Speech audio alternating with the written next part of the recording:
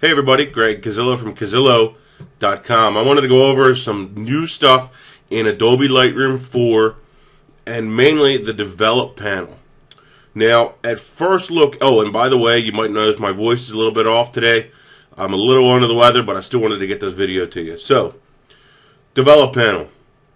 At first look, you're going to say, man, Greg, this thing's the same. There's no differences. Why am I spending extra money on another copy of Lightroom when it's the same thing? Well, it's not. And the key is this little exclamation point down here. Uh, what that's going to do is update your photo to the new process. Uh, what what what is the new process? That's where Adobe makes changes to their algorithm that up that that basically processes the photo and makes it look better, pulls more data out, brings more highlights back, whatever it may be. So when you click that exclamation point, it's going to give you some options, but in this case, I just want to update just this one photo. Now, if you wanted to go backwards, you can always come down here to the camera calibration panel and then choose 2010 or 2003. So in this case, we want to stay on 2012 and we see, voila, we have highlight, shadow, whites, and blacks instead of exposure, brightness, contrast, saturation, clarity, and all that good stuff. So, uh, you know what? That was the wrong set. That it was exposure, recovery, fill light blacks. That was the right one. Okay. Anyway, watch my histogram when I highlight, when I mouse over different areas here. Now, your exposure, uh, I think this is a little bit deceiving. I'm not sure why they're only highlighting the midtones right in here in the middle, because exposure is really pushing around everything and not just the, the, the midtones. Um, but anyway, these other ones are actually pretty much accurate, although they are do kind of affect everything. So I guess it makes sense.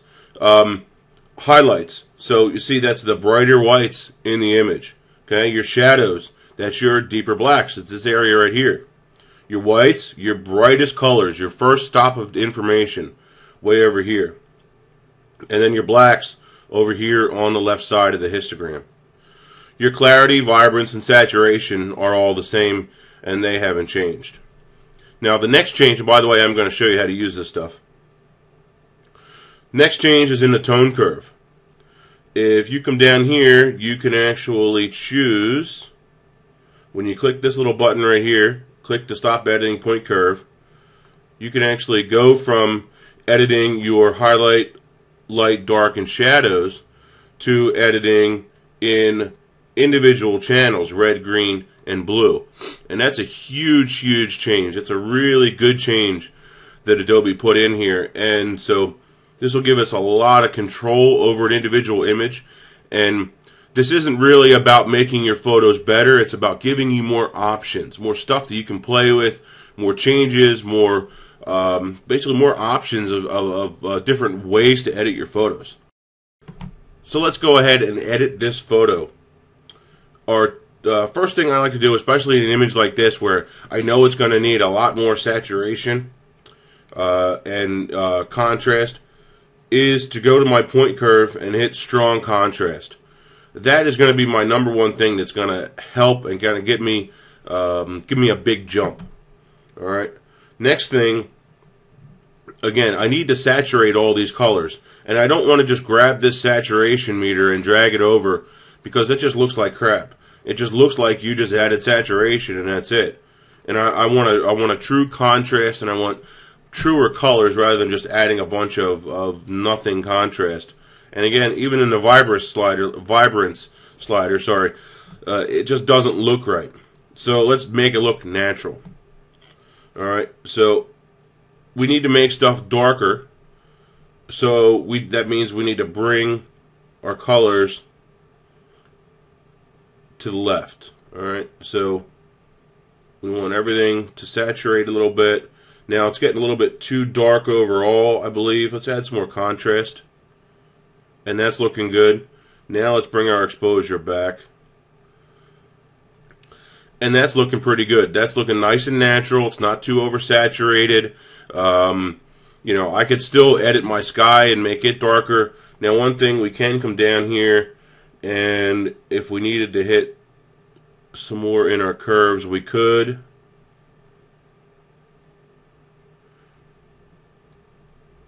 I think that's nice. And another thing, we can still come down here and hit our individual colors. Alright, so if I did want to pop the sky more, I can do that. Although in this instance, I think it was looking pretty good. Um, yeah, that's too far, so I'm going to reset those. But say I wanted a little bit more in these greens. And just think of luminance as just darkening or lightening colors. Probably the easiest way to think about it. And let's go even farther on those. And, eh, you know, I think it was fine as is, but it gives you options, basically. You know, it's all about those options on how to make those changes, where to make those changes. Actually, that's not too bad right there.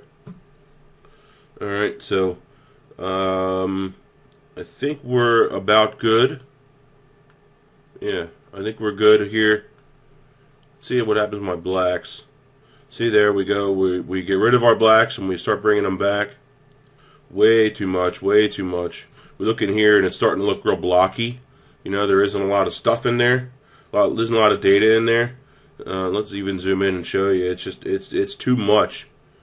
Um, when we get down in here, it's just too much and it doesn't look good. You know, you're, you're losing way too much information in there. Sometimes clipping blacks is good, but in this image we can't we just can't afford to to lose that just it looks too weird um, looks too over processed basically so overall I think this is a, a good edit I do like it you know what I'm going to do? I'm going to put up a before and an after of this image up on the website. To take a look at the before and the after from editing here in Lightroom uh, 4 with the 2012 process and comparing that with Lightroom 3 and the 2010 process. And see which one you might look uh, might like better.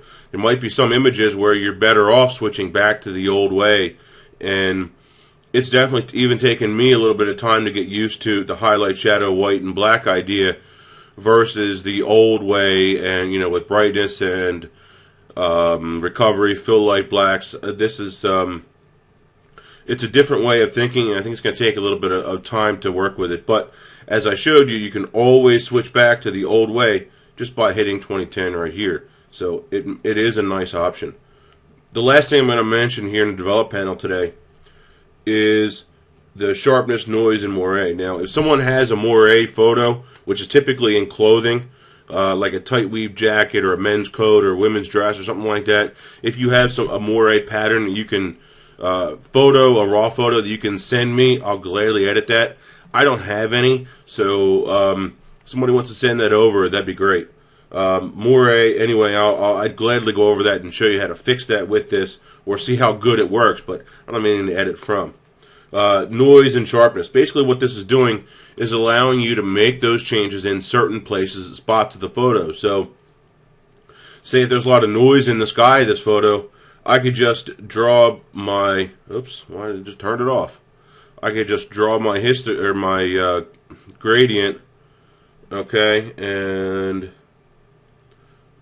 then turn up or down my uh, noise slider here, and it would get rid of noise. Now, obviously, there is no noise in this because it was shot at a very low ISO, so it's not something that we would want to add. Um, same idea with the adjustment brush here. You have your uh, sharpness, noise, and moire brush, uh, so you can you know make those changes individually in, in smaller areas. So if I wanted to darken this area down here, I could do that. And you know what? Let's do that real quick. I'm going to bring my exposure down a little bit and make my brush a little bigger. By the way, shortcut key for the brush is right bracket and left bracket, right above your enter key.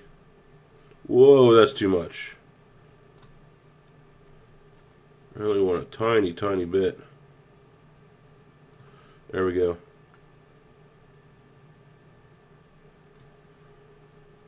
Eh, doesn't look very good. I didn't do a very good job of it. I have a lot more time at it. But it did what it said. We can edit just this area with that brush. And, you know, we can uh, take away contrast. We can add contrast. We can do whatever we want with it. If you wanted to um, sharpen the eyes uh, of, of a portrait, you could do that with just this brush. So that's what that's for. And you can just edit little tiny areas And again, tons of possibilities with this adjustment brush. So I know I went over a lot of stuff here today. Let me know if you have any questions, comments, concerns. I'd love to hear them. Greg Cazillo, Cazillo.com. Keep shooting. See ya.